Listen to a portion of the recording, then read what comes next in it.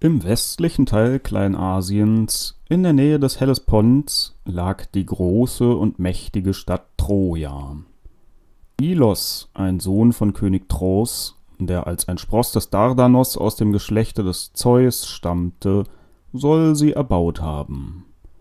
Sie erhielt ihren Namen nach König Tros, und die Landschaft ringsum, die zu Phrygien gehörte, hieß die Troas Angeblich soll der Ort, wo die Stadt erbaut worden war, zuvor der Hügel der Fehler geheißen haben. Eines Tages nämlich geriet Zeus über ein eigenes Verschulden in so unbeherrschten Zorn, dass er Ate, die Göttin der Verfehlungen, vom Olymp auf die Erde hinabwarf. Deinetwegen mache ich mich vor den Göttern und Menschen lächerlich, tobte er indem du auch mich, den höchsten Gott, Fehler begehen lässt. Deine Schuld ist es, dass es Prometheus seinerzeit auf dem Berge Mekone gelungen ist, mich zu täuschen. Aber ab heute darfst du deinen Fuß nie mehr in den Olymp setzen. Ab heute werden nur noch die Sterblichen Fehler begehen. Zornig stieß er sie hinab. Und sie fiel gerade auf den Hügel, auf dem später die Stadt Troja erbaut wurde. In ihrem Ärger verfluchte die Göttin diesen Ort, dass er den Menschen zwar gut gefalle, ihnen aber großes Unglück bringe. Der Hügel war landschaftlich sehr schön gelegen. Im Osten erstreckte er sich bis zum Abhang des Berges Ida, und gegen Westen fiel er sanft zum Meer hinab. In dieser Gegend also beschloss Ilos eine Festung zu erbauen. Er brachte den Göttern Opfer dar und bat sie um ein Zeichen, ob ihnen seine Absicht genehm sei. Als Antwort soll eine geheimnisvolle Statue vom Himmel gefallen sein, die die Göttin Athene darstellte. Pallas Athene wird diese Stadt also unter ihren besonderen Schutz stellen, überlegte König Ilos. Und als man mit dem Bau der Festung begann, ließ er vor allem einen Tempel errichten, in dem die Statue, Palladion genannt, einen Ehrenplatz erhielt. Das aber war der erste Fehler, wie sich viel später zeigen sollte. Jahre gingen ins Land, und als Ilos starb, folgte ihm sein Sohn Laomedon auf den Thron. Laomedon war ein grausamer, wortbrüchiger König, Habgierig und gewalttätig wie er war, suchte er überall seine Untertanen, um ihren gerechten Lohn zu betrügen. Zum Schutze seiner zusammengerafften Schätze wollte er Troja mit besonders festen Mauern umgeben. Dazu benötigte er viele Bauarbeiter. Zu jener Zeit hatten sich im Olymp mehrere Götter gegen Zeus empört, Sie wollten den Beherrscher des Olymps mit ledernen Riemen fesseln und in den Tartarus werfen. Aber Thetys, die schöne Nereide, hinterbrachte dem Göttervater diesen Anschlag, und er bestrafte die aufsässigen Olympier mit aller Strenge. Am härtesten wurden Poseidon und Apollon getroffen. Sie mussten sich wie Sterbliche verdingen und in harter Fron am Bau der Stadtmauern von Troja mithelfen aber als die Mauern standen, jagte sie Laomedon beide fort, ohne ihnen den versprochenen Lohn für die Arbeit zu zahlen. Auch dem Helden Herakles gegenüber wurde Laomedon wortbrüchig. Solche Verfehlungen brachten ihn bald um den Thron. Es brach ein schwerer Krieg aus, in dem die meisten seiner Söhne den Tod fanden. Ein einziger, der jüngste, blieb am Leben. Er hieß Podarkes und bekam später den Namen Priamos. Nun herrschte König Priamos in Troja, nachdem er eine anmutige, mildherzige Königstochter zur Frau genommen hatte, Hekabe, die er von ganzem Herzen liebte. Priamos hatte fünfzig Söhne, alles stattliche Helden und viele anmutige Töchter. Vor der Geburt eines ihrer Söhne hatte Hekabe einen schrecklichen Traum. Ihr träumte, sie gebäre kein Kind, sondern eine lodernde Fackel. Die Flamme dieser Fackel griff immer weiter um sich, und setzte schließlich die ganze Stadt in Flammen, bis nur noch Asche von ihr zurückblieb. Als Priamos von diesem Traum hörte, ließ er sogleich die Priester zu sich kommen. Diese rieten ihm, das Kind, sobald es geboren sei, im Gebirge auszusetzen, wie man es seit alters her mit unerwünschten Kindern tat. Die wilden Tiere würden den Ausgesetzten töten, ohne dass sich der Vater die Hände mit Blut beflecken müsse. Priamos befolgte den Rat seiner Priester und übergab seinen Sohn sofort nach der Geburt einem Hirten, der ihn auf dem Gipfel des Berges Ida aussetzte. Als ihn aber nach vier oder fünf Tagen sein Weg wieder dort vorbeiführte, glaubte er seinen Augen nicht zu trauen. Das Kind lebte noch und wurde von einer Bärin gesäugt. Da nahm der Hirte den Säugling mit in seine Hütte und zog ihn dort insgeheim auf. Als der Knabe herangewachsen war, wurde er Hirte wie sein Pflegevater und trat in Priamos Dienste. Wie alle anderen Hirten trieb er Tag für Tag die Herden auf die Wiesen und wusste nicht, dass er der Sohn des Mannes war, dessen Vieh er auf dem Berge Ida hütete. Der Sohn des Priamos tat sich besonders durch seine Körperstärke hervor. Er war immer der Erste, wenn es galt, die Herden gegen Räuber und Raubtiere zu beschützen. Deshalb nannten ihn die Hirten Alexandros, den Männerbeschützer. Viele Jahre waren nun schon vergangen, seit Priamos seinen unerwünschten Sohn auf dem Berge Ida ausgesetzt hatte. Da ließ er zum Andenken an den Ausgesetzten, wie es der Brauch der Väter verlangte, ein Fest feiern. Es wurden also in Troja großartige Opfer dargebracht und Spiele mit Wettkämpfen veranstaltet. Als erster Siegespreis war der größte Stier aus den Herden des Priamos ausgesetzt. Diesen Stier aber hatte Alexandros aufgezogen, und er hing sehr an dem schönen Tier. Daher beschloss der Jüngling, an den Wettkämpfen teilzunehmen und den Stier zurückzugewinnen. Und es gelang ihm auch. Durch seine Tapferkeit und Geschicklichkeit besiegte Alexandros alle seine Gegner und gewann den Siegespreis. Jubelnd wurde der junge Sieger gefeiert. Da fragte ihn Priamos, woher er komme, wer sein Vater sei und wie er heiße. Ein Wort ergab das andere, und schließlich erkannte Priamos in Alexandros seinen ausgesetzten Sohn. Da war seine Freude groß, einen so tapferen Sohn zu haben. Er vergaß die schlimmen Vorbedeutungen des Traumes und nahm Alexandros in Ehren bei sich auf und von da an nannte man ihn nicht mehr Alexandros, sondern Paris. Während sich dies alles in Troja zutrug, feierten die Götter in der Höhle des Kentauren Chiron die Hochzeit der Göttin Thetis mit Peleus, dem König von Thessalien.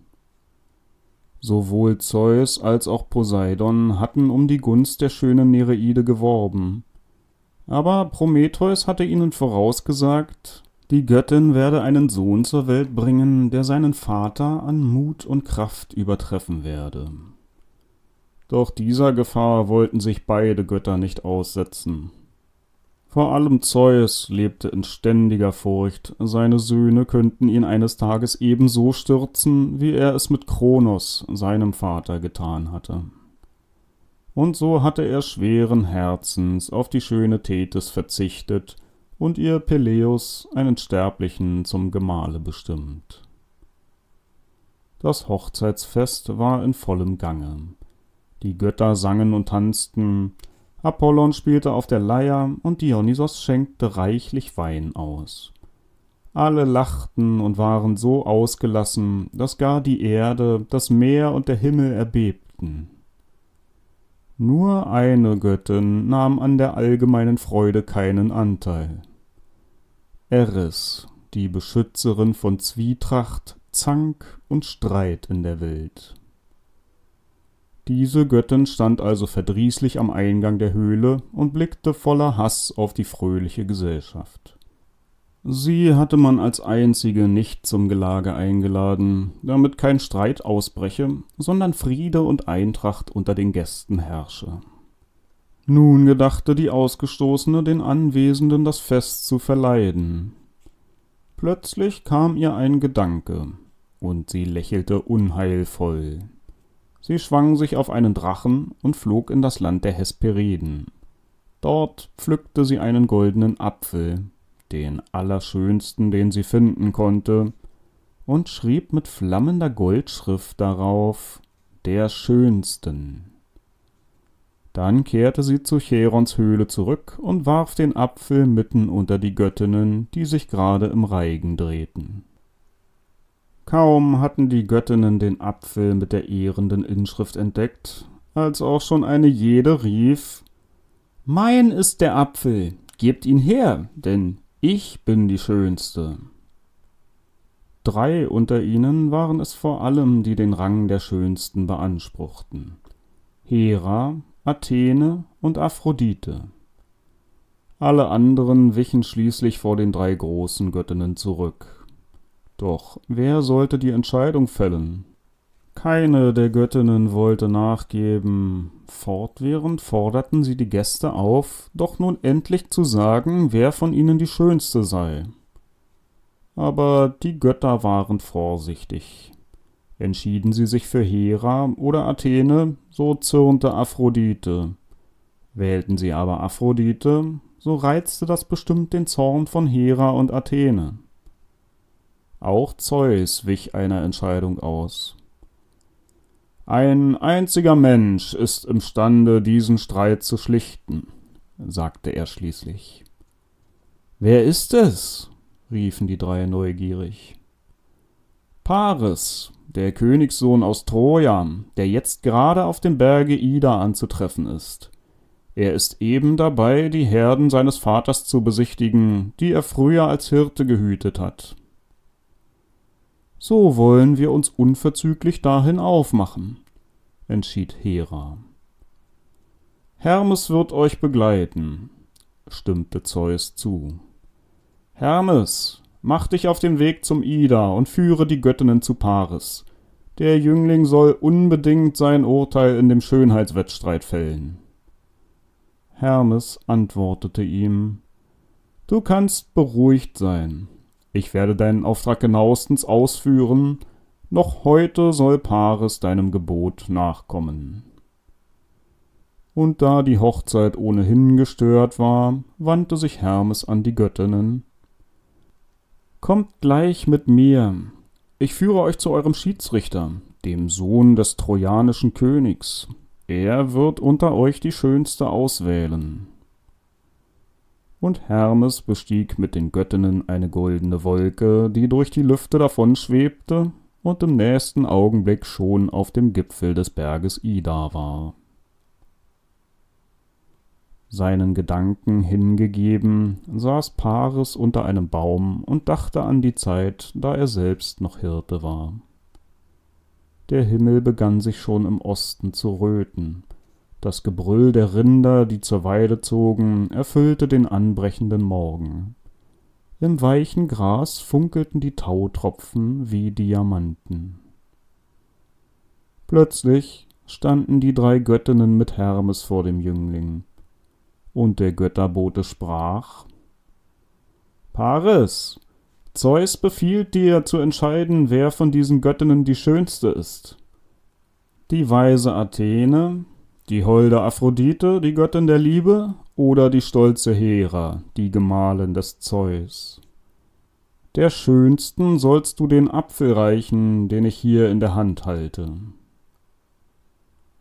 Vor solch eine schwere Entscheidung gestellt, zog es Paris vor, das Weite zu suchen. Aber Hermes hielt ihn an der Schulter fest und redete auf ihn ein, damit er sich dem Willen des Olympias fügte. Da zeigten sich die Göttinnen Paris in ihrer ganzen Schönheit. Darüber hinaus versprach ihm eine jede fürstlichen Lohn, wenn er sie zur schönsten wähle. Hera versprach ihm, dass er König von ganz Asien würde. Pallas Athene verhieß ihm glanzvolle Siege in vielen Schlachten und unübertreffliche Weisheit. Aphrodite aber versprach ihm die schönste Frau der Welt zur Gemahlin. Da besann sich Paris nicht lange. Leichten Herzens verzichtete er auf Macht und Weisheit, er entschied sich für die Freuden der Liebe und beging einen Fehler.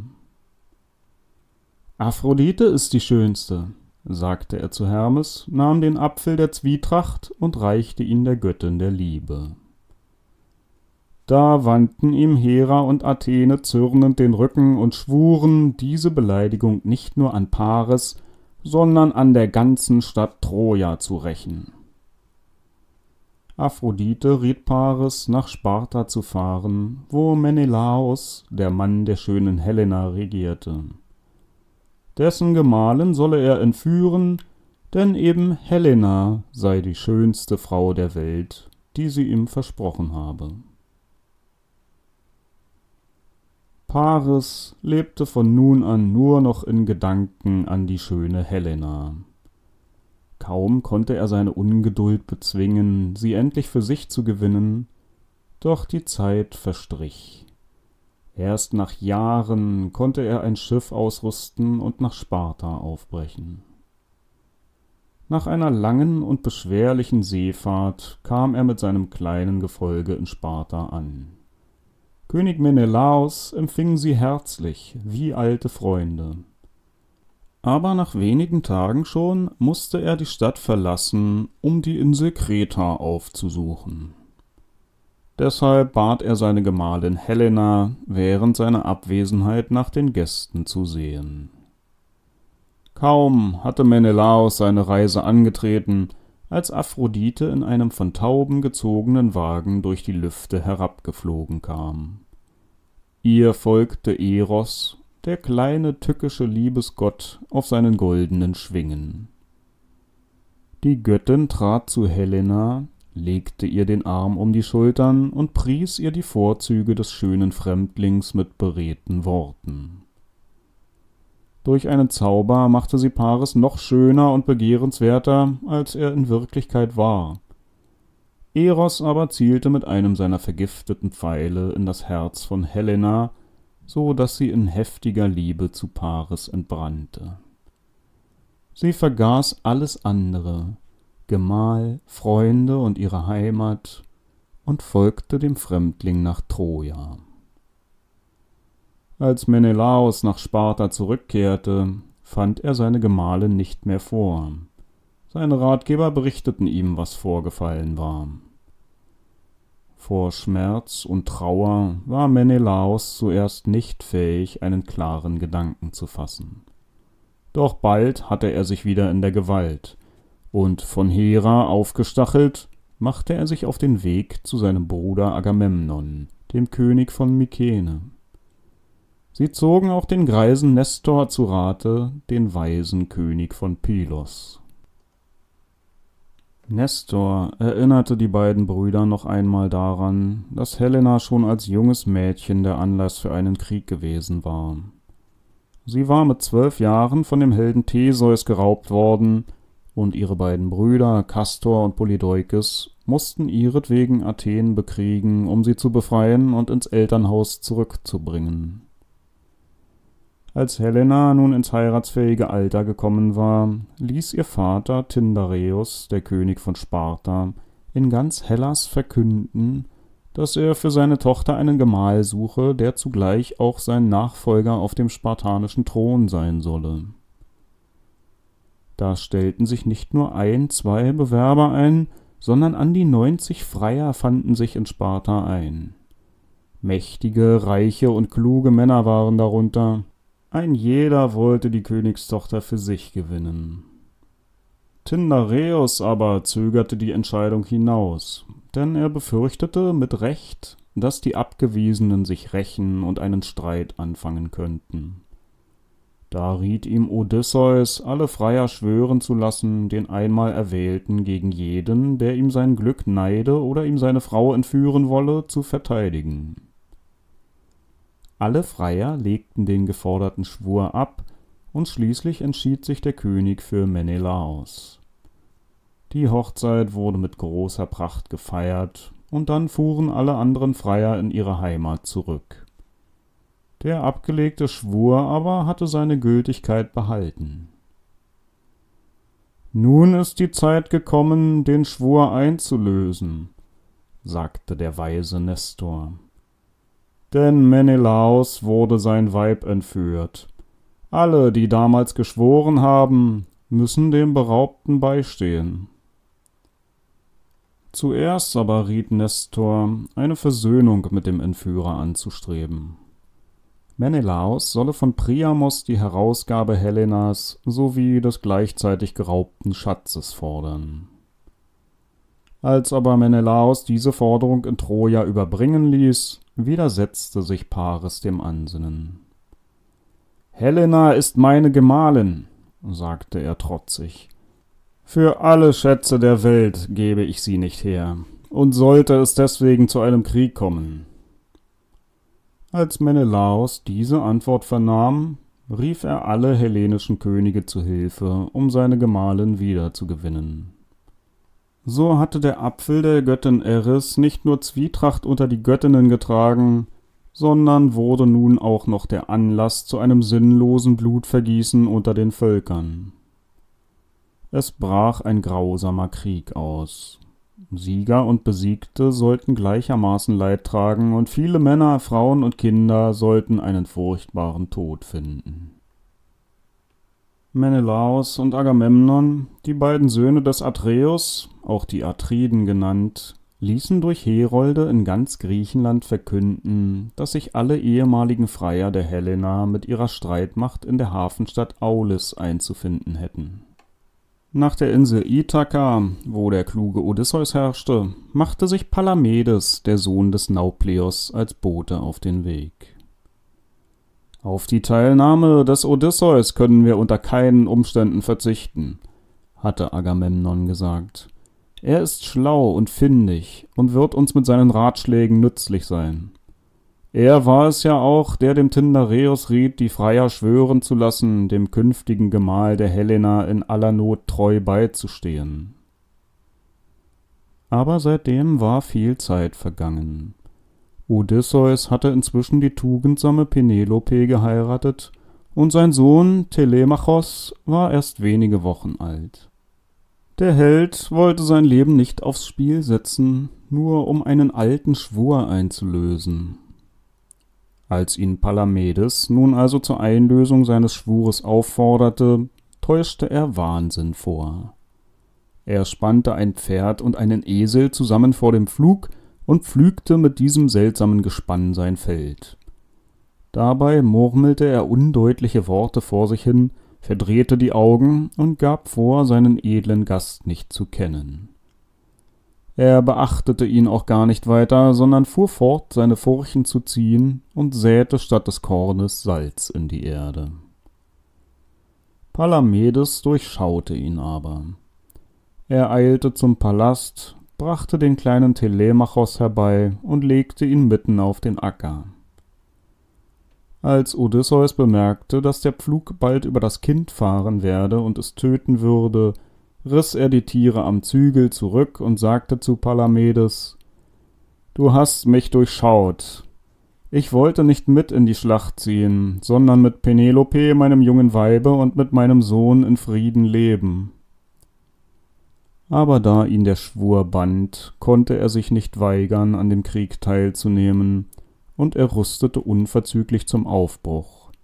Lange Zeit sollte die Trennung von seiner schönen Gemahlin und seinem Sohn währen. Kalchas, der Seher der Griechen, hatte Agamemnon verkündet, dass er Troja nicht werde einnehmen können, wenn sich nicht der junge Held Achilleus am Kriegszuge beteilige. Achilleus war der Sohn der Nereide Thetis und des thessalischen Königs Peleus auf ihrer Hochzeit hatte Eris einst den Apfel mit der verderblichen Inschrift unter die Göttinnen geworfen, den Paris dann der Aphrodite zugesprochen hatte. Thetis wusste schon bei der Geburt des Achilleus, dass ihr Sohn zu einem tapferen Helden heranwachsen würde, Möra, das unbeugsame Schicksal, hatte ihn aber ausersehen, im Trojanischen Kriege zu fallen. Dies alles wissend, scheute sich Thetis dennoch nicht, selbst der Möra zu trotzen und zu versuchen, Achilleus dem Geschick, das ihn erwartete, zu entreißen.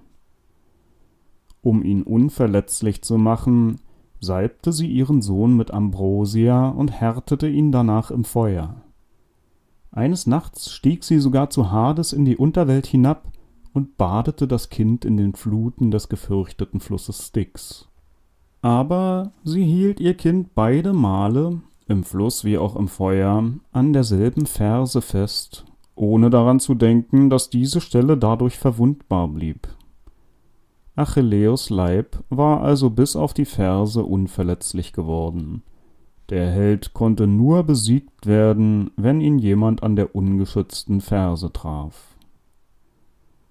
Bei Ausbruch des Trojanischen Krieges, seit dem Urteil des Paares waren Jahre vergangen, war Achilleus bereits zum Jüngling herangewachsen. Wie so viele Helden hatte ihn der weise Kentaur Chäron erzogen und ihn die Kunst der Waffenführung gelehrt. Schon als Kind kämpfte Achilleus wie ein Mann und erprobte seine Kraft und seinen Mut an den Raubtieren, die in den Wäldern des Peliongebirges hausten. Im Laufen gar übertraf er noch das schnellste Reh. Er verstand sich aber auch auf das Leierspiel und hatte eine wohlklingende Stimme, mit der er Menschen wie Götter erfreute. Diesen Jüngling also wollten die Atriden an ihrer Seite wissen, wenn sie den Sturm auf Troja begannen. Und diesmal sandte Agamemnon Odysseus aus, um den Sohn des Peleus und der Nereide Thetis zum Kampfe zu rufen. Als Thetis von dieser Absicht erfuhr, versuchte sie ihren Sohn zu retten.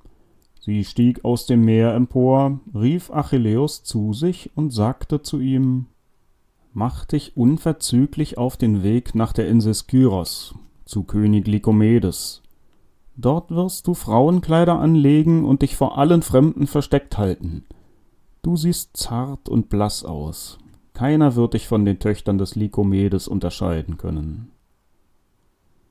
Achilleus widersetzte sich diesem unmännlichen Ansinnen, aber seine Mutter verlangte Gehorsam und da Achilleus sie von ganzem Herzen liebte, fügte er sich schließlich ihrem Willen, um sie nicht zu kränken.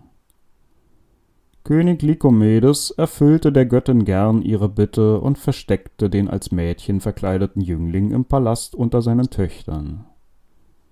Mittlerweile suchten die Griechen im Gefolge des Agamemnon vergebens nach Achilleus. Ohne den Seher Kalchas hätten sie ihn nie und nimmer gefunden.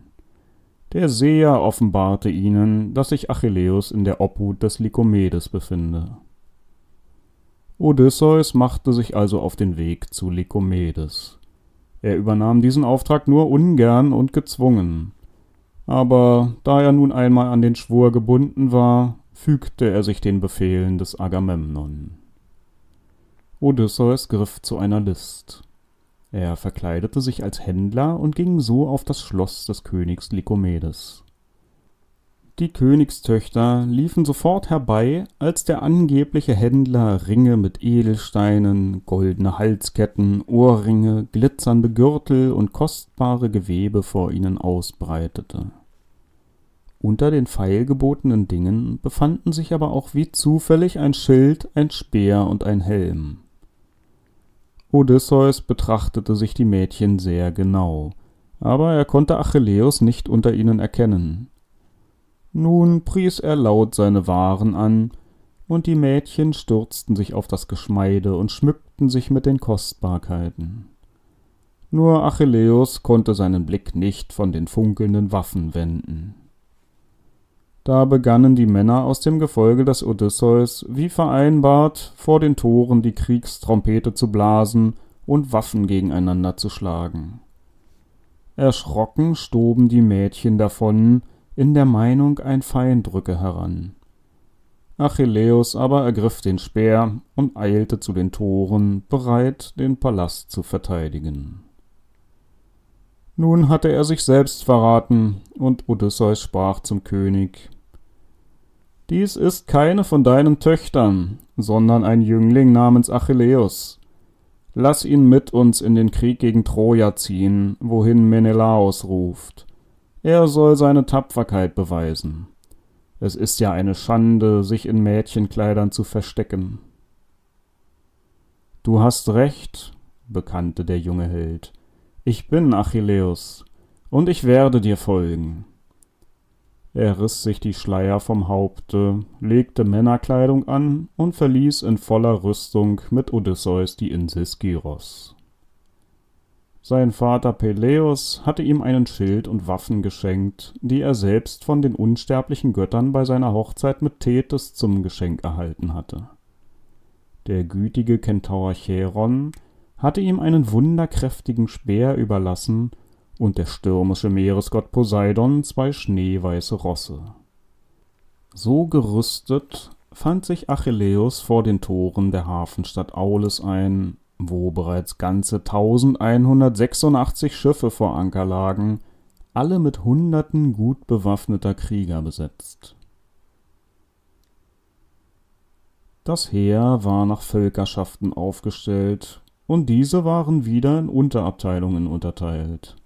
Wenn es zur Schlacht kam, pflegten die Könige in den ersten Reihen zu kämpfen. Stolz standen sie in ihren von feurigen Pferden gezogenen Streitwagen. Geharnischt und schwer bewaffnet mit bronzenen, goldverzierten Schilden und hohen Helmen, die lange Pferdemähnen und die Hauer von Ebern als Schmuck trugen, mit Schwertern und langen, scharf geschliffenen Lanzen. Die einfachen Krieger dagegen waren mit Speeren und Schleudern nur leicht bewaffnet und mussten als Fußvolk die strengen Befehle der Könige bedingungslos befolgen.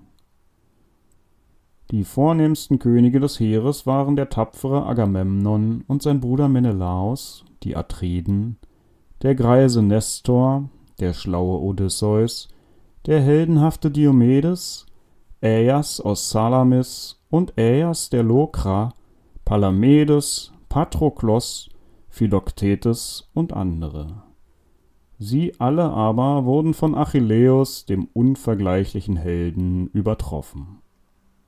Die große Flotte lag schon seit Wochen vor Aulis, konnte den Hafen jedoch nicht verlassen. Jedes Mal, wenn die Schiffe die Anker lichteten, brach ein heftiger Sturm los und warf sie alle wieder zurück ans Gestade. Und wenn sich der Sturm auch wieder legte, so blieben doch die günstigen Winde aus, und die Flotte musste tatenlos an der Küste von Aulis ausharren. Um die Ursache für diese Verzögerung zu ergründen, befragten die Könige den Seher Kalchas. Dieser offenbarte ihnen, dass die Göttin Artemis dem Feldherrn Agamemnon zürne, weil er ein Reh getötet habe, das ihr geweiht war. Wenn sie also günstigen Wind erlangen wollten, so müsste Agamemnon die Göttin versöhnen. Das könne er nur dadurch, dass er ihr seine Tochter Iphigeneia zum Opfer darbringe. Lange kämpfte Agamemnon mit sich selber, dann aber fasste er den Entschluss, der Göttin das Opfer zu bringen. Unter dem Vorwand, seine Tochter solle mit Achilleus verheiratet werden, schickte Agamemnon einen Boten an seine Gemahlin Clytemnestra, eine Schwester der Helena, damit sie mit Iphigeneia nach Aulis komme. Als das Schiff mit der Königin und ihrer Tochter im Hafen einlief, begrüßte sie Agamemnon nicht einmal. Seine Krieger rissen die Jungfrau von der Seite der Mutter und schleppten sie zum Heiligtum, wo schon alles für das Opfer vorbereitet war. Clytemnestra weinte und klagte vergebens. Der König ließ sich nicht sehen, das Gebot der Göttin musste schnellstens befolgt werden, damit die Flotte endlich ihre siegreiche Fahrt antreten könne. Viele Helden hatten Mitleid mit Iphigeneia und versuchten sie zu retten. Sie aber gebot ihnen Halt und sprach unter Tränen Vergießt nicht vergeblich noch mehr Blut, ich opfere mich freiwillig, damit mein Vater in den Kämpfen, die euch vor Troja erwarten, siegen kann. Und sie legte ihr Haupt auf den Opferaltar. Der Priester hob schon die Axt, um das Mädchen zu töten, da erbarmte sich Artemis im letzten Augenblick der unschuldigen Jungfrau. Sie entsann sich, dass Iphigenia ihr häufig Opfer dargebracht und geschworen hatte, niemals zu heiraten, sondern als Priesterin in ein der Göttin geweihtes Heiligtum einzutreten. Artemis entrückte die Jungfrau in einen Hain des fernen Landes Tauris und machte sie dort in ihrem Tempel zur Priesterin. An ihrer Stelle aber lag plötzlich eine Hindin als Opfertier auf dem Altar, die von dem Priester getötet wurde. Sofort kam günstiger Wind auf, und die Flotte konnte endlich die Segel setzen und gen Troas segeln. Auf der Fahrt liefen sie noch manches fremde Gestade an, und es kam zu schweren Kämpfen, die sie, wenn auch mit Verlusten, siegreich bestanden. Am schwersten aber traf es sie, dass sie Philoktetes, der den siegreichen Bogen des Herakles besaß, auf Lemnos zurücklassen mussten. Er war dort von einer giftigen Schlange gebissen worden, was ihm schreckliche Schmerzen verursachte. Seine Wunde war so ekelerregend, dass die Gefährten seine Gegenwart nicht mehr ertragen konnten und ihn auf der menschenleeren Insel zurückließen. Schließlich lief die Flotte die asiatische Küste vor Troja an. Aber keiner wagte es, das Land als erster zu betreten, denn Kalchas hatte dem, der seinen Fuß zuerst auf trojanischen Boden setze, den sofortigen Tod prophezeit. Alle standen daher abwartend auf Deck, und keiner wollte als erster das Schiff verlassen. Da kam dem schlauen Odysseus ein Gedanke. Er wollte mit gutem Beispiel vorangehen, ohne dabei sein Leben zu gefährden. Er warf seinen Schild an Land und sprang darauf, ohne den Erdboden zu berühren. Als die anderen ihn unversehrt an Land sahen, sprangen sie gleichfalls von Bord. Hektor, der älteste und tapferste Sohn des Königs Priamos, bereitete den Griechen den gebührenden Empfang. Er eilte mit seinem Heer zum Schutze der Küste herbei und schleuderte seinen Speer auf Odysseus. Der aber wich dem Wurf geschickt aus und so bohrte sich der Speer dem Protesilaos in die Brust, der gleich nach Odysseus an Land gesprungen war. Er war der erste Tote im Trojanischen Krieg.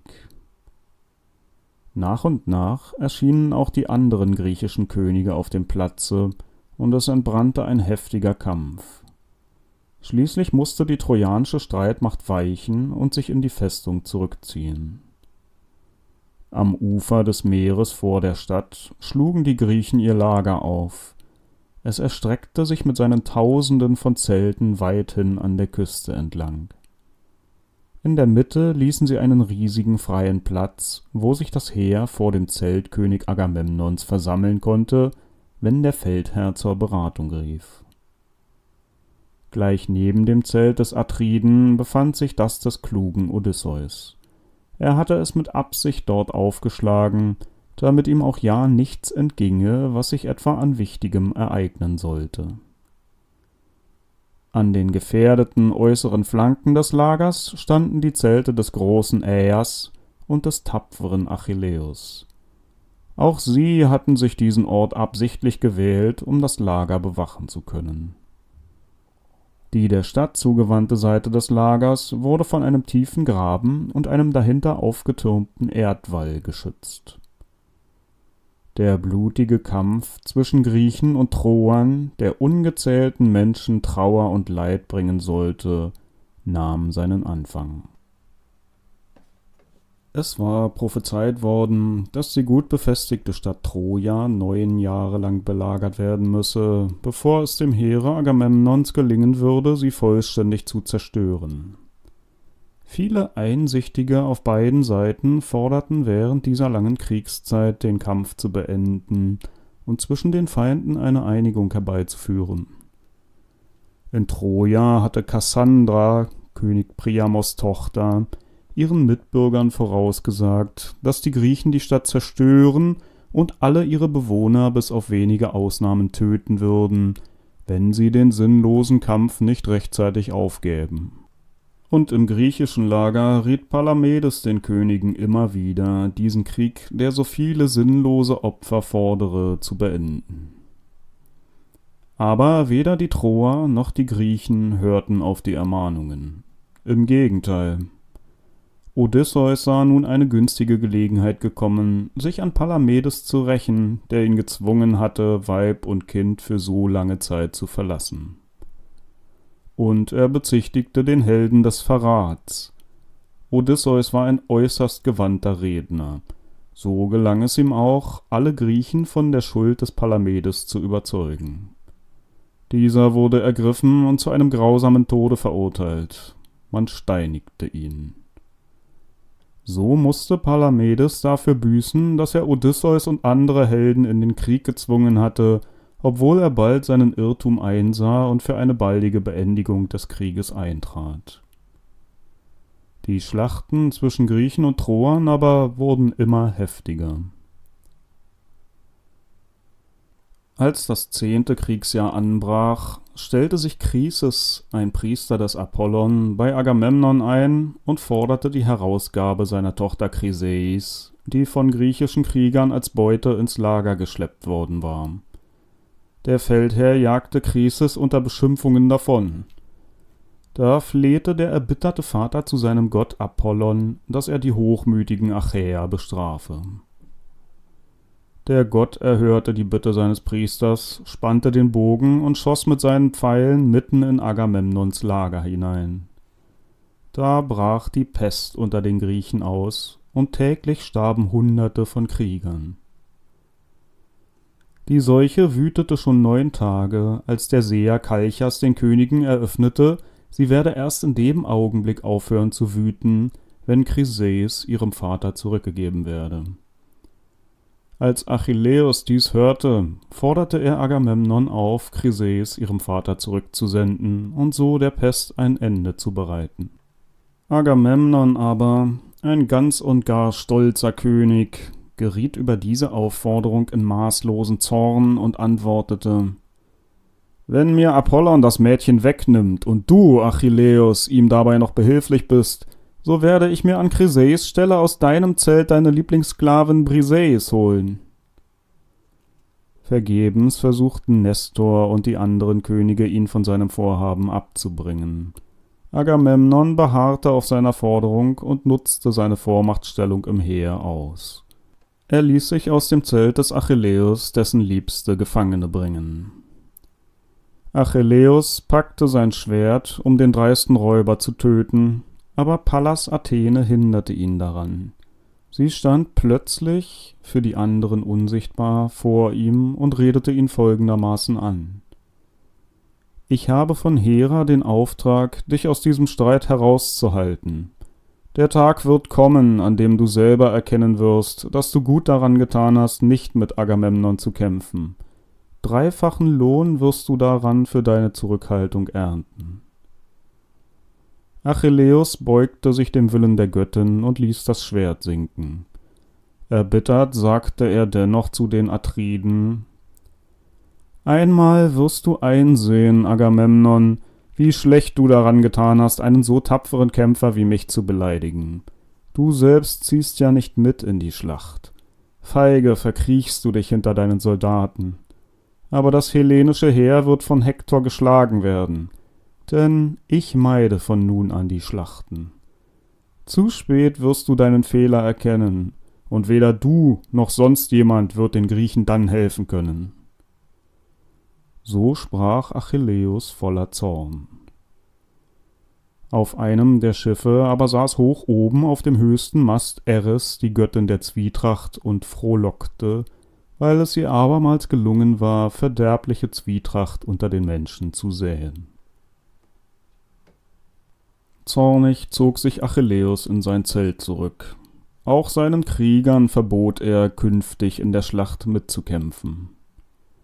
Währenddessen eilte Thetis, die Mutter des Helden, zum Olymp hinauf.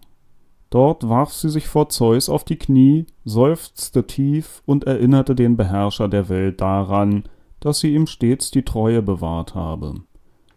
Sie sei es gewesen, die ihm selbst gegen die aufrührerischen Olympia und Hera beigestanden habe, indem sie ihm den Plan der Aufrührer verraten und den Giganten Briareus zu Hilfe geschickt habe. Nun habe sie an Zeus eine Bitte. Er möge das Heer des Königs Priamos stärken, damit es die Griechen vor Troja empfindlich treffe und Agamemnon gezwungen sei, sich zu demütigen und ihren Sohn Achilleus zu bitten, wieder am Kriege teilzunehmen. Nur so wird meinem schwer gekränkten Sohn die Ehre und Achtung zuteil, die ihm gebührt, schloss Thetys. Zeus versprach, ihre Bitte zu erfüllen. Und noch in derselben Nacht schickte er den Traumgott Morpheus zu Agamemnon. Morpheus nahm die Gestalt des weisen Nestor an und riet Agamemnon im Traume, am nächsten Tage Troja anzugreifen, denn jetzt könne er die Stadt erobern. Er sagte, Hera, die auf eurer Seite steht, ist es gelungen, die Götter Apollon, Ares, Aphrodite sowie alle anderen, die den Troern freundlich gesonnen sind, zu überreden, die Stadt den Griechen als Beute zu überlassen. Als Agamemnon erwachte, ließ er die Völker sogleich zur Versammlung rufen. Er legte seine kostbarsten Gewänder an, gürtete sich mit seinem reich verzierten Schwert, nahm das Zepter in die Hand und stellte sich stolz vor die versammelte griechische Streitmacht.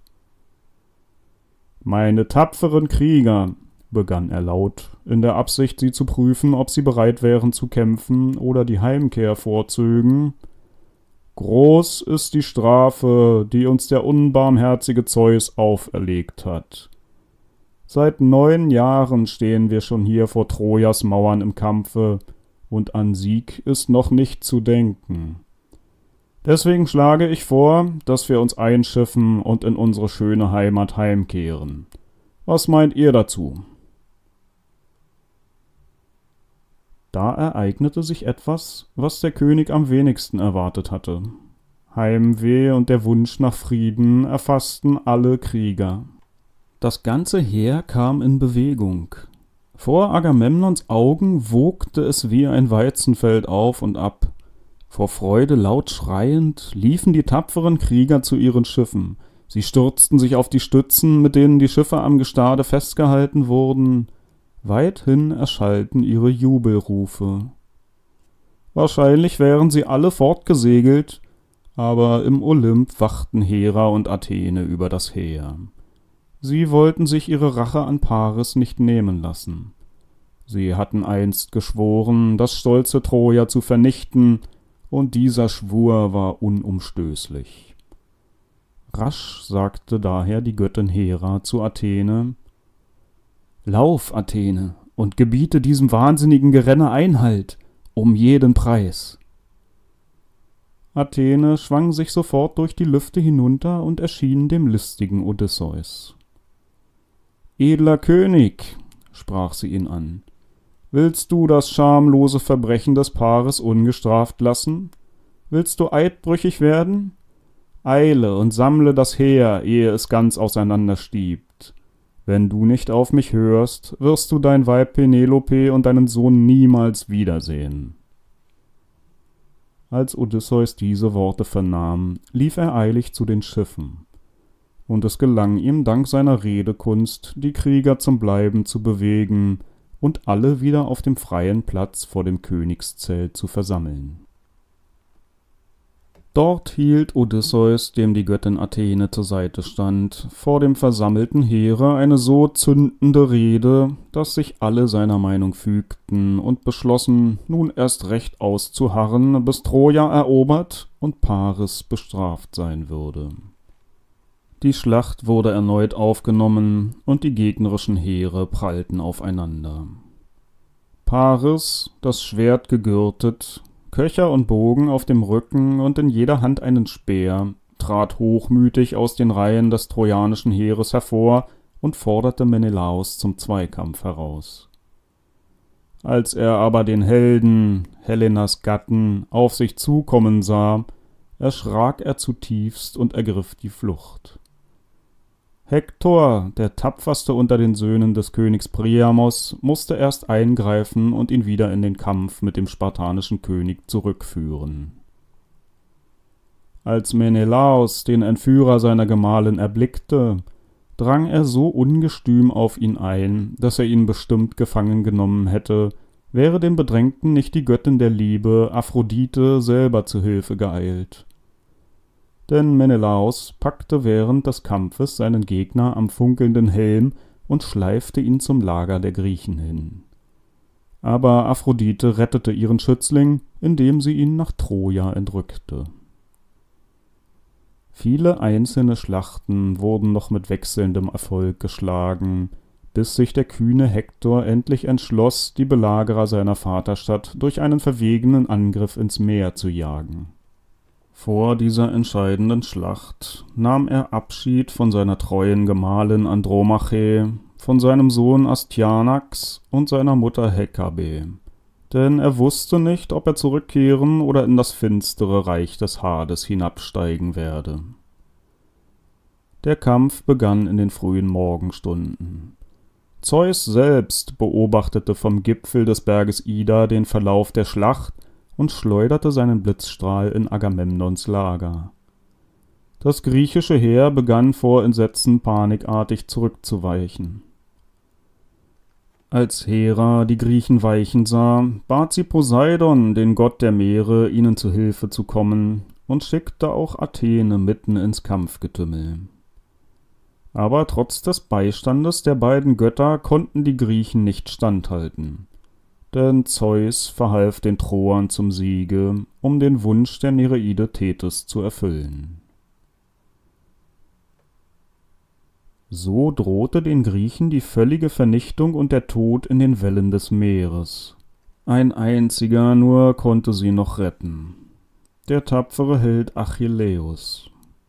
Der aber saß vor seinem Zelt, spielte auf der Leier und sah dem Schlachtengetümmel unbeteiligt zu. Nun endlich würden die Griechen ihn bitten, sie vor dem Untergang zu retten. Und in der Tat, sogar Agamemnon sah jetzt ein, dass es ein Fehler gewesen war, Achilleus so zu beleidigen. Augenblicklich sandte er einen Boten zu ihm, mit der Bitte, ihm sein unüberlegtes Handeln nicht länger nachzutragen. Er wolle ihm auch die Briseis, seine Lieblingssklaven, samt zwanzig anderen gefangenen Jungfrauen zurückgeben, sowie kostbare Geschenke hinzufügen. Darüber hinaus trug er ihm die Hand einer seiner Töchter an. Aber Achilleus lehnte das Angebot ab. Der Kampf wurde immer schwerer und blutiger, sogar Agamemnon wurde am Arm verwundet und musste das Schlachtfeld verlassen. Immer mehr Griechen kamen in der Schlacht um, bis das Heer schließlich von Todesfurcht gepackt vor den Trojanern die Flucht ergriff. Panikartig stürzten die Griechen auf die hölzernen Schiffe zu, die auf den Strand gezogen waren. Eilig bemühten sie sich, die Fahrzeuge ins Wasser zu ziehen, aber Hektor war schon dabei, die Schiffe in Brand zu stecken. Als die ersten Flammen schon zum Himmel schlugen, trat Patroklos, der beste Freund des Achilleus, vor den Helden und sagte Achilleus, wenn du schon den Griechen nicht helfen willst, so gib mir wenigstens deine Rüstung und deine Lanze. Lass auch deine Myrmidonen mit mir in den Kampf ziehen. Die Troer werden glauben, du seist in die Schlacht zurückgekehrt, und das wird sie erschrecken und von den Schiffen vertreiben. Während die Griechen bei den Schiffen noch um ihr nacktes Leben kämpften, gelang es Patroklos endlich, seinen Freund zu überreden, ihm die gewünschten Waffen zu überlassen und die Myrmidonen unter seinen Befehl zu stellen. Mutig warf er sich mit seinen Kriegern in die Schlacht. Aber nach dem Willen des Zeus fand Patroklos in dem Gefecht den Tod durch die Hand des Hektor. Unter großen Mühen gelang es den Achäern wenigstens, den leblosen Körper des tapferen Helden zu bergen aber die Rüstung des Achilleus, die Patroklos getragen hatte, nahm sich Hektor als Kriegsbeute. Als die Kunde vom Tod seines Freundes Achilleus erreichte, wurde es Nacht vor seinen Augen. Er brach in lautes Jammern aus, und seine Verzweiflung war so groß, dass sogar seine Mutter in der Tiefe des Meeres davon bewegt wurde. Sie eilte besorgt zu ihm und fragte Warum weinst du so bitterlich, mein Sohn? Achilleus erwiderte Patroklos ist in der Schlacht gefallen. Hektor hat ihn getötet und ihm die Rüstung, die mein Vater von den Göttern als Hochzeitsgeschenk erhalten hat, gewaltsam vom Leibe gerissen. Ich will nicht länger mehr leben, wenn es mir nicht gelingt, Patroklos zu rächen und Hektor zur Strafe zu erschlagen. Du weißt doch, Achilleus, dass nach Hektor auch du vor Trojas Mauern dein Leben lassen musst, wie es dir vorausgesagt ist. Ich fürchte den Tod nicht, antwortete der junge Held. Ich werde meinen Hass gegen Agamemnon begraben, wenn ich nur Hektor im Kampfe töten kann. Thetis erkannte, dass sich das Schicksal ihres Sohnes nicht mehr abwenden ließ. Sie bat ihn aber noch so lange mit seiner Rache zu warten, bis ihm der Schmied der olympischen Götter, Hephaistos, einen neuen Harnisch, neue Beinschienen und Waffen geschmiedet habe. Achilleus willigte ein, bestieg dann aber doch unbewaffnet den Schutzwall und schrie von dort mit seiner donnernden Stimme in das Kampfgetümmel, dass die Troer auf der Stelle im Kampf innehielten und zu ihm hinsahen. Um Achilleus Haupt schwebte eine golden glänzende Wolke, die weithin leuchtete. Von schrecklichen Ahnungen erfüllt, ergriffen die Troer die Flucht und missachteten Hektors Befehl, der sie zum Kampfe rief. Mittlerweile war die Nereide Thetis in den Palast des Hephaistos geeilt, der Gott war gerade dabei, drei Füße aus Gold zu schmieden, die mit Rädern ausgestattet waren und sich ohne von fremder Hand gelenkt zu werden, von allein bewegen konnten. Als er Thetis Bitte vernahm, ließ er die begonnene Arbeit ruhen, warf Erz, Zinn, Silber und Gold in große Kessel über dem Feuer, das er mit unzähligen Blasebälgen zum Lodern brachte, und schmiedete dann auf seinem Amboss einen riesigen, starken Schild. Den Himmel mit Sonne, Mond und allen Gestirnen bildete er darauf ab, ferner die Erde mit zwei Städten, die eine voll Frohsinn bei einem Hochzeitsfest und einem Gelage, die andere im schrecklichen Schlachtengetümmel. Weiter konnte man da ein wogendes Weizenfeld sehen, einen Weingarten voll schwarzer Trauben an den Rebstöcken und eine große Schafherde. Sogar einen Reigen, in dem sich frohe Jungfrauen und Jünglinge wiegten, bildete der Gott aus dem Metall. Um das Ganze aber wälzte der Strom des Ozeans seine grünen Wasser. Als Hephaistos diesen wunderbaren Schild vollendet hatte, schmiedete er einen Panzer, der noch heller strahlte als das lodernde Feuer, und einen Helm, der den Kopf des Trägers vortrefflich einschloss und mit einem goldenen Haarbusch geziert war. Aus feinstem Zinn verfertigte er zuletzt die Beinschienen.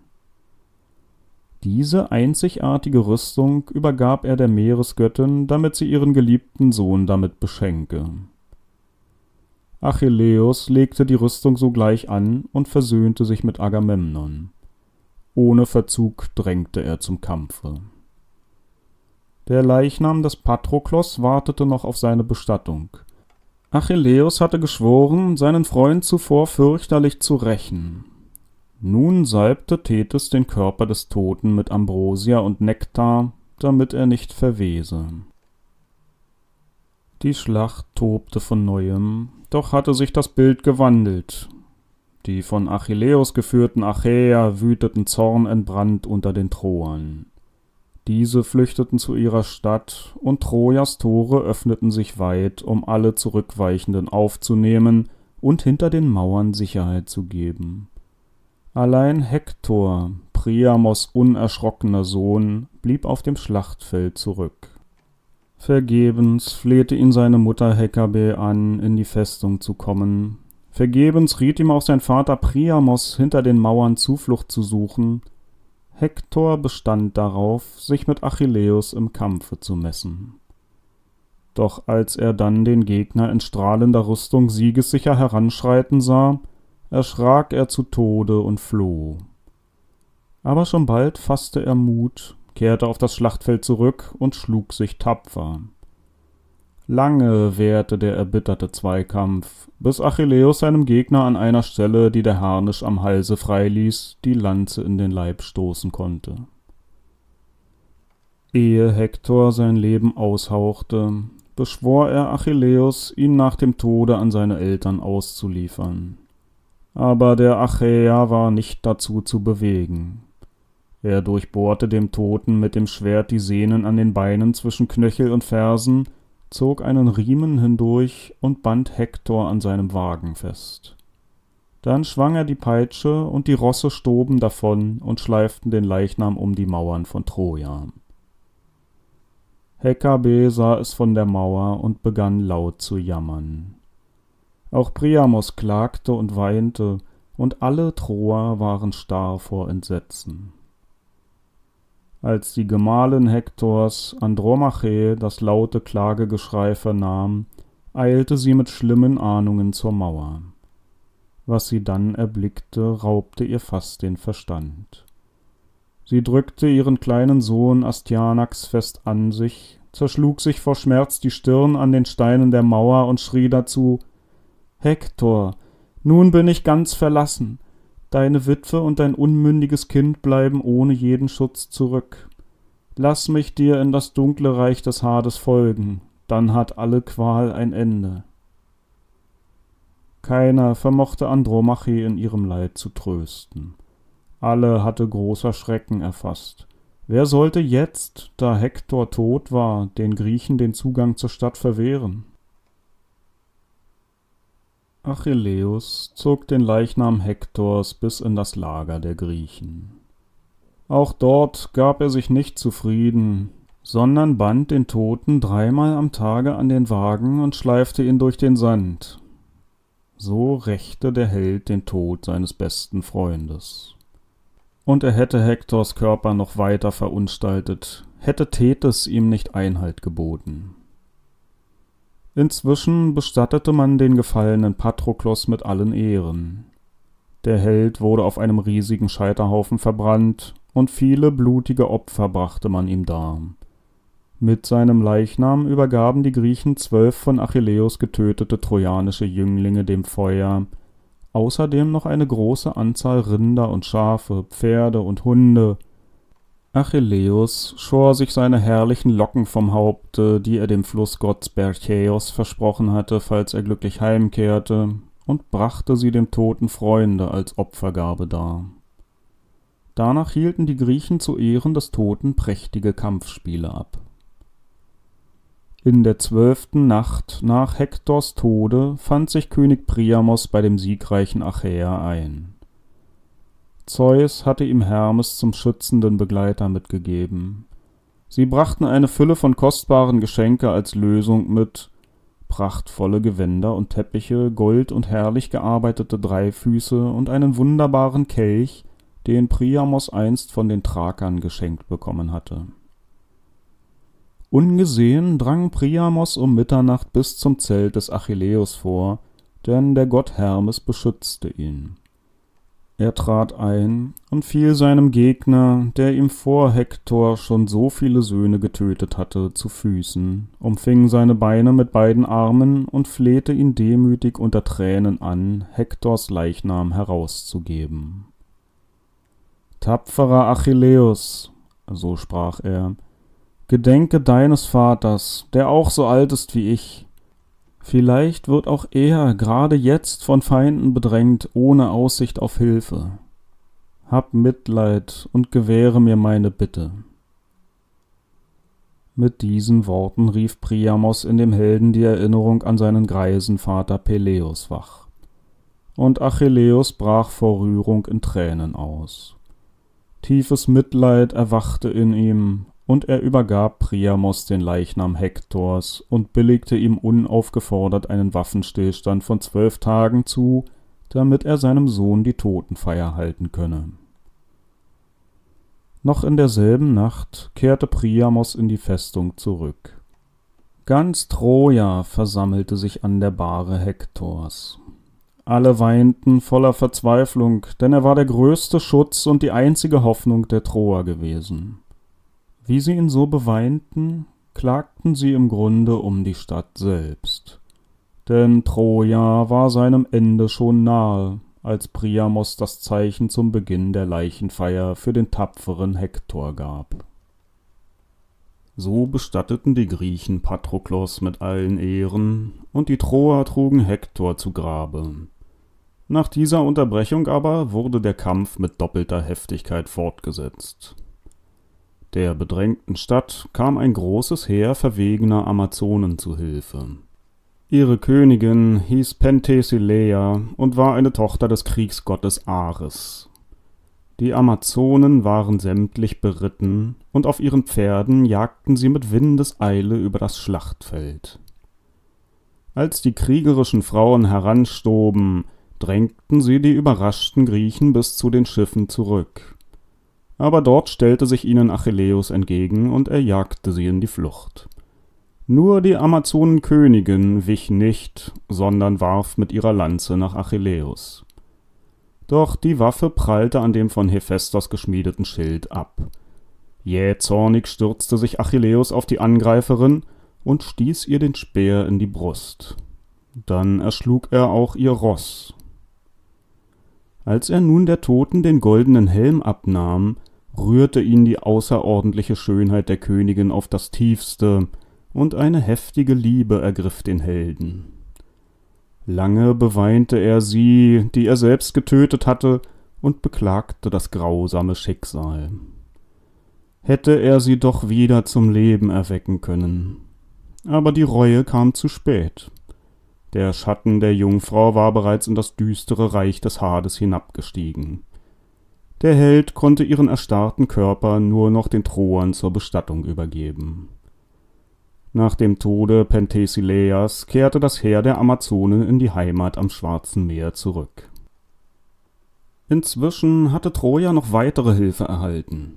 Memnon, der König von Äthiopien, ein Neffe des Priamos, war mit einem großen Heer vor Troja eingetroffen Achilleus hätte einen Kampf mit Memnon und den Äthiopiern am liebsten vermieden, denn seine Mutter Thetys hatte ihm vorausgesagt, dass er kurze Zeit nach dem Tode des äthiopischen Königs vor Troja sterben werde.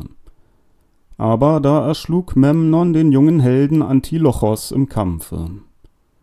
Nach Patroklos war Antilochos dem Achilleus der liebste Gefährte gewesen, und nun war auch er im Kampf gefallen Zornentbrannt vergaß Achilleus jede Vorsicht und stürzte sich unter die Kämpfenden.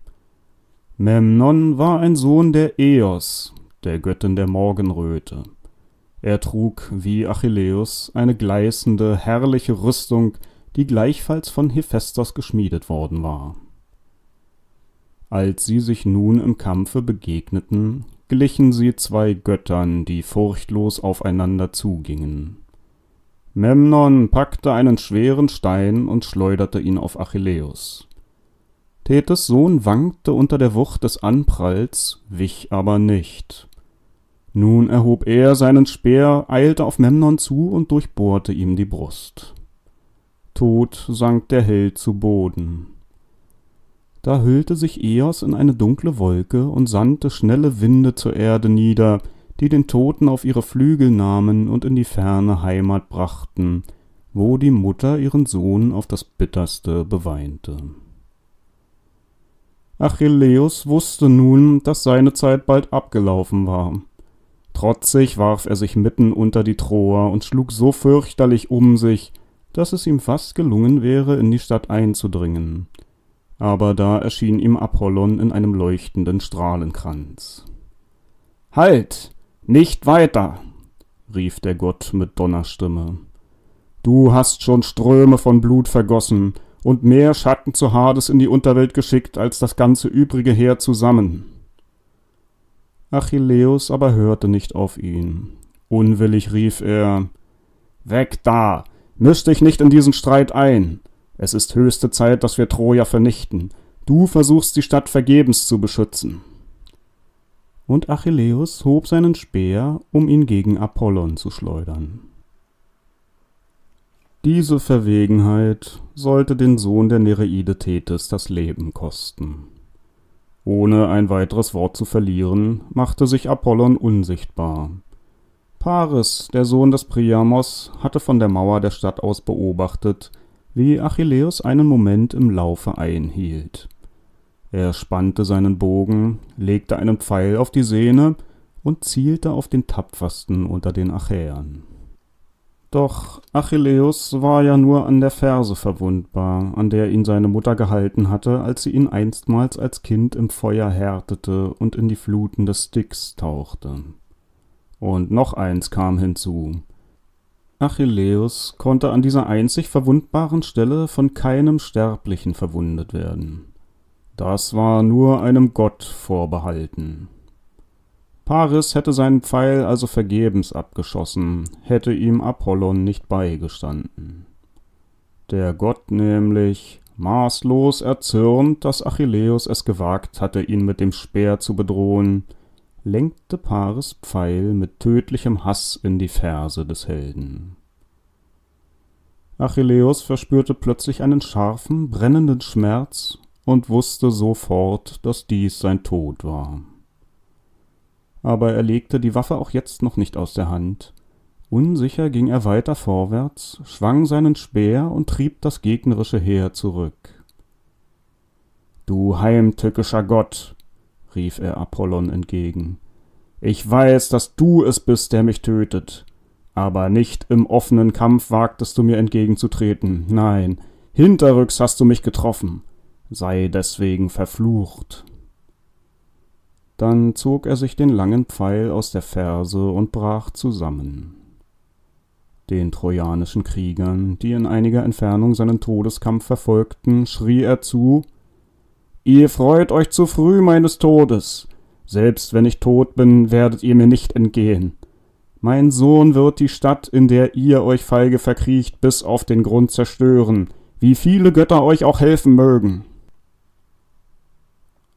Dann aber verstummte der Held, und sein Schatten stieg in das finstere Reich des Hades hinab.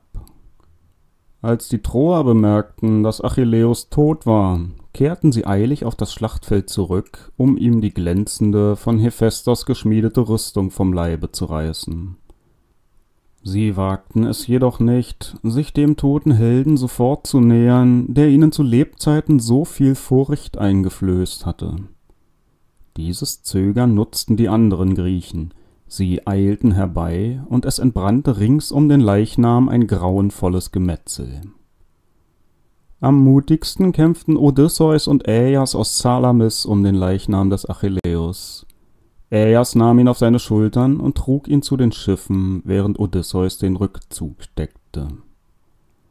Als die beiden mit ihrer traurigen Last das Lager am Ufer des Meeres erreichten, erhob sich ein lautes, noch nie dagewesenes Wehklagen. Die Griechen alle weinten und rauften sich vor Kummer die Haare. Das Klagegeschrei war so laut, dass es bis zu Thetys in die Tiefe des Meeres drang.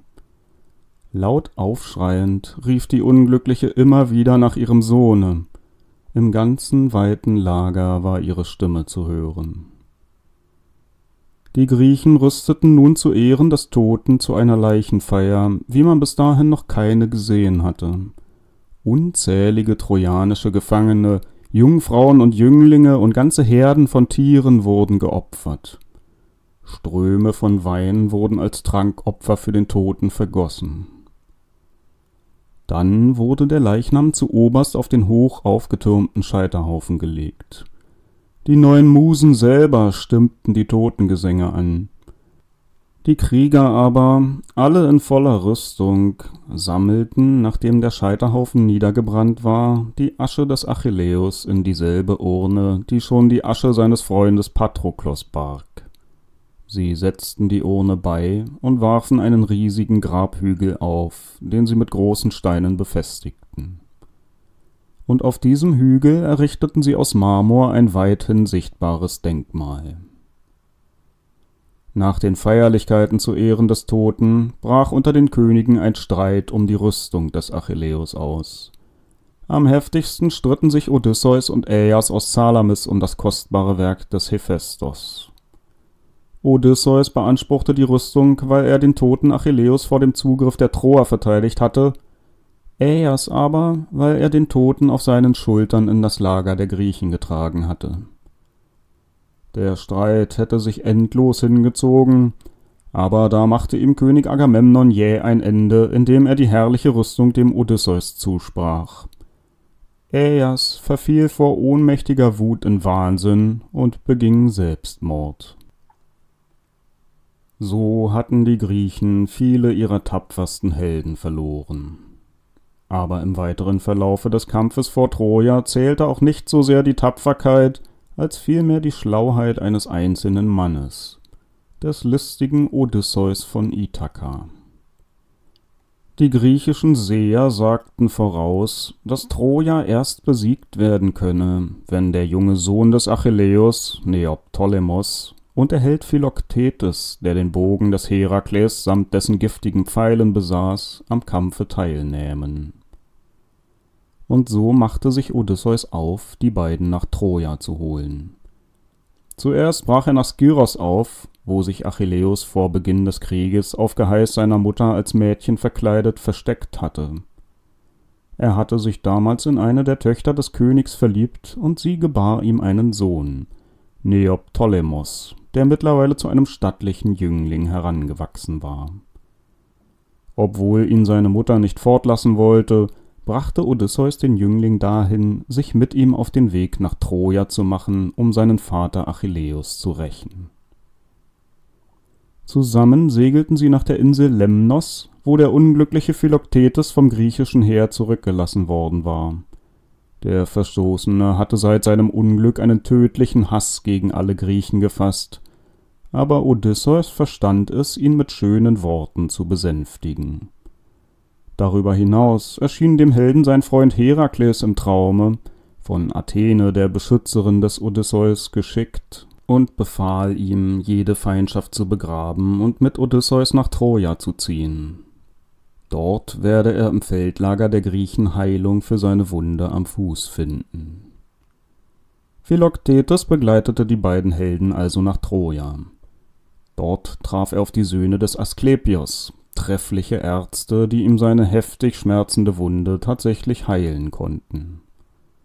Und da Philoktetes den wunderkräftigen Bogen des Herakles besaß, war es ihm ein leichtes, Tausende von Troern zu töten.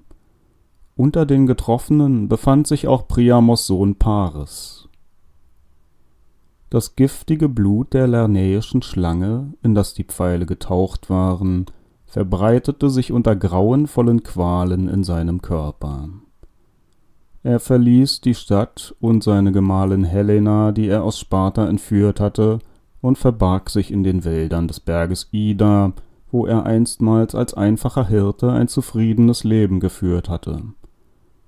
Dort starb er unter fürchterlichen Schmerzen, von niemandem beweint. Als sich die Kunde vom Tode des Paares verbreitete, begehrten andere Söhne des Priamos die schöne Helena für sich. Obwohl die Feinde nahe vor den Toren der Stadt standen, stritten sie sich unversöhnlich, wem sie als Gemahlin folgen sollte. Schließlich errang Deiphobos, der Bruder von Paris und Hektor, den Sieg. Die anderen zürnten ihm nun bei jeder Gelegenheit, und es gab immerfort Zank und Streit in den eigenen Mauern.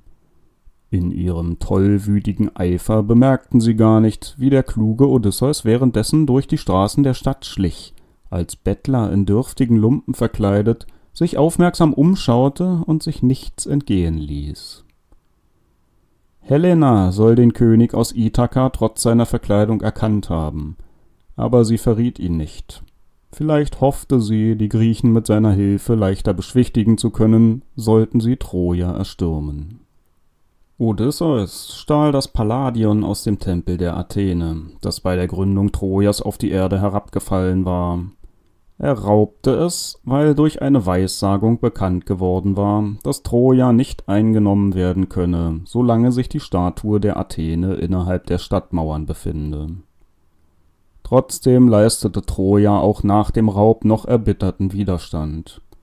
Die Troer waren sicher im Schutze der festen Mauern, die von den beiden Olympiern Phöbos Apollon und Poseidon erbaut worden waren. Außerdem hatte Zeus verheißen, dass diese Mauern nur von den Herren der Stadt selbst, also von den Troern, geschleift werden könnten, und wer sollte sie schon dazu bringen, ihre Mauern mit eigener Hand zu zerstören? Also fühlten sich die Troer in ihrer Festung unbesiegbar. Die Griechen aber überlegten angestrengt und suchten nach einer Lösung, die Verheißung des Zeus zu umgehen. Doch nur einem, dem listigen Odysseus, kam ein Gedanke. Ach Herr, sagte Odysseus, hört meinen Vorschlag. Lasst uns ein Pferd aus Holz zimmern, so groß, dass in seinem Inneren fünfzig gut bewaffnete Krieger Platz finden. Unser Heer soll darauf einen Rückzug vortäuschen.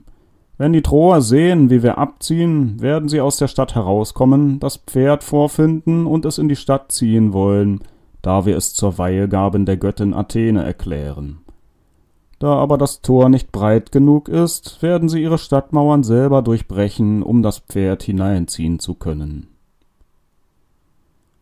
Etliche Helden fanden diesen Plan töricht und wenig kriegerisch, aber die beiden Atriden, Agamemnon und Menelaos, folgten dem Rat des Odysseus und befahlen, ein riesengroßes hölzernes Pferd zu bauen. Als das Ungetüm fertig war, kletterten die fünfzig tapfersten Kämpfer in seinen Bauch, darunter Neoptolemos und Philoktetes, der Lokraäas und Odysseus. Danach gab Agamemnon den Befehl zum Aufbruch.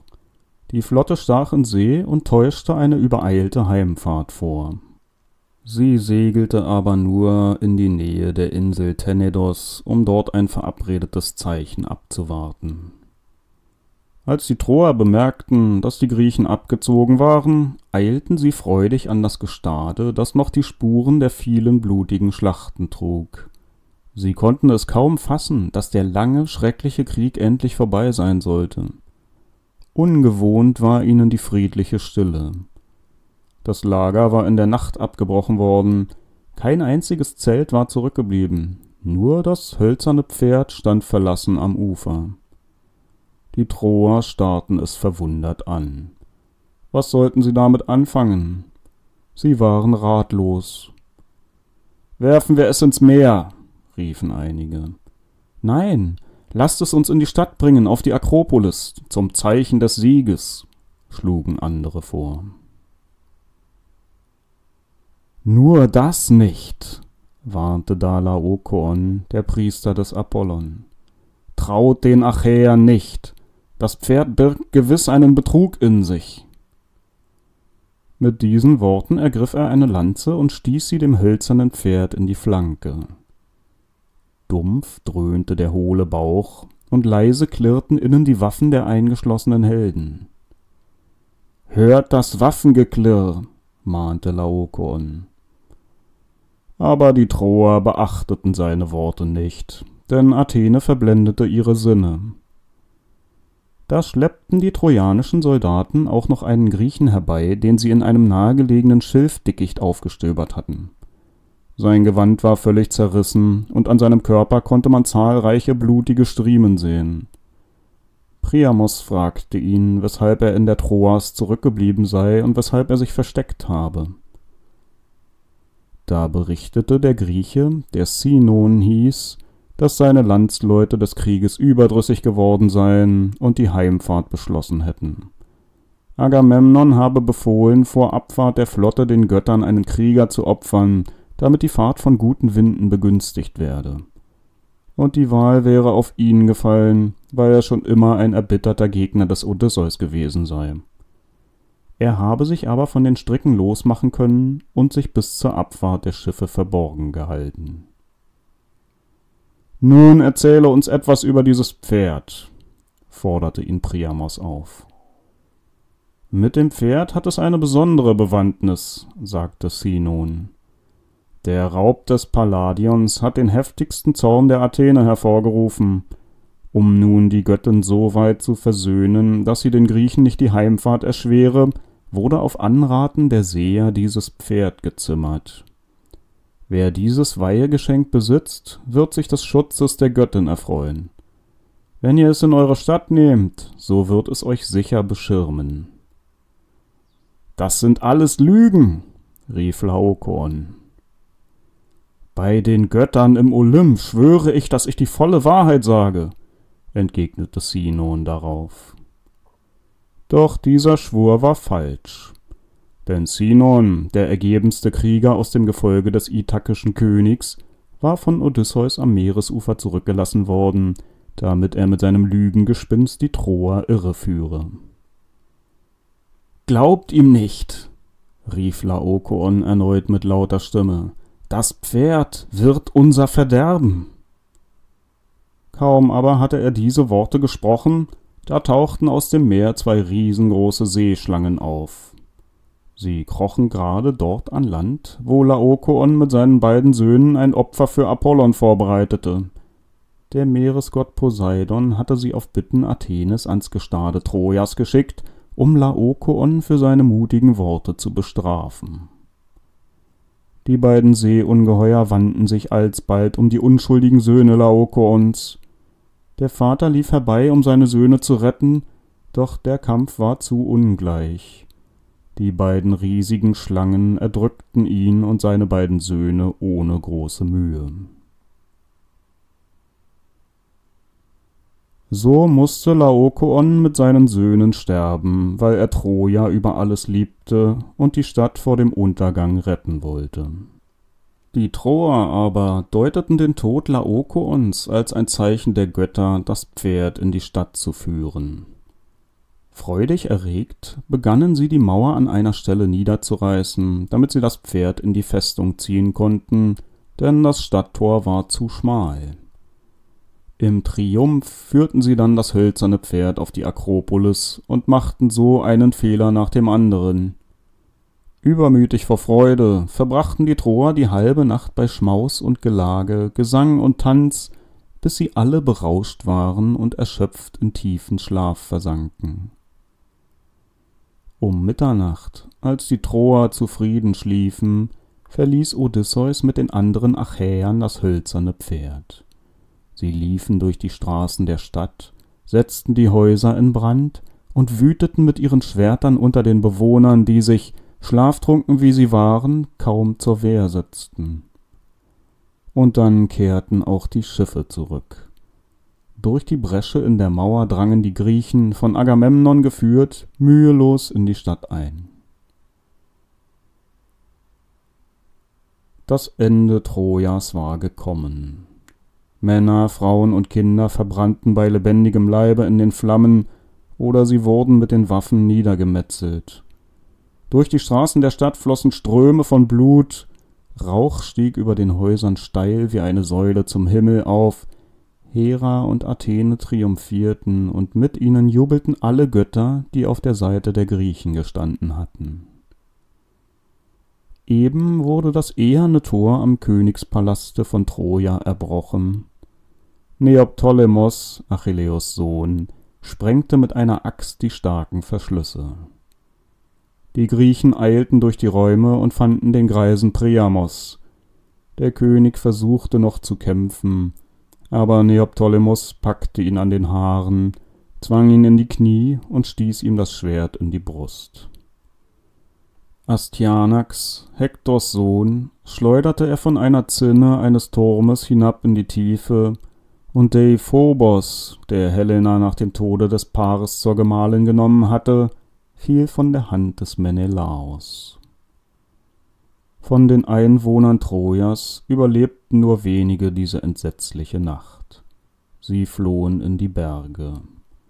Alle Frauen, die den Siegern in die Hände fielen, wurden als Sklavinnen fortgeschleppt. Alle Männer, ob Greis, ob Kind, wurden mitleidlos getötet. Die Seherin Kassandra, die sich im Tempel Athenes versteckt hatte, wurde dort von Äas hervorgezerrt. Dabei warf er die Statue der Göttin um, an die sich Kassandra festgeklammert hatte. Die Statue zerbrach in tausend Stücke. Andromache, Hektors Witwe, war in die Gewalt des Neoptolemos geraten. Er zerrte sie aus dem Palast und nahm sie als seine Sklaven mit. Drei Tage und drei Nächte lang schleppten die Achäer alles, was sie in Troja an Schätzen fanden, aus der Stadt hinaus. Gold, Edelsteine, kostbare Gewänder, Statuen aus Marmor und vieles andere und sie beluden ihre Schiffe damit, bis sie unter der Last fast im Meere versanken, um nur ja mit möglichst reicher Beute nach Griechenland zurückzukehren. Neun Tage lang brannte Troja unentwegt.